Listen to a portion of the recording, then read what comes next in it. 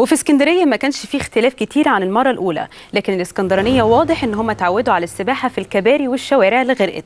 أجهزة المحافظة اتحركت بشكل أسرع وأعلنت الطوارئ لرفع المياه من الشوارع ووقفت رحلات القطارات من مطروح واسكندرية. ولمزيد من التفاصيل معنا على الهاتف نبيل أبو شال مدير مكتب المصري اليوم بالإسكندرية. مساء الخير أستاذ نبيل.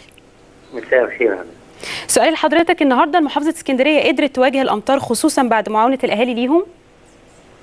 هي الحقيقة قدرت بس قدرت برضه بمعاونة الجيش أكتر لولا تدخل الجيش لما عدد شرايين المحورية المرورية الرئيسية في اسكندرية للحقيقة والمناطق اللي تعامل معاها الصرف الصحي للأسف حتى الآن لا زالت الأعمال جارية للتغلب على غرق مساكن الاهالي. لكنها ما كانتش زي المرة الأولى.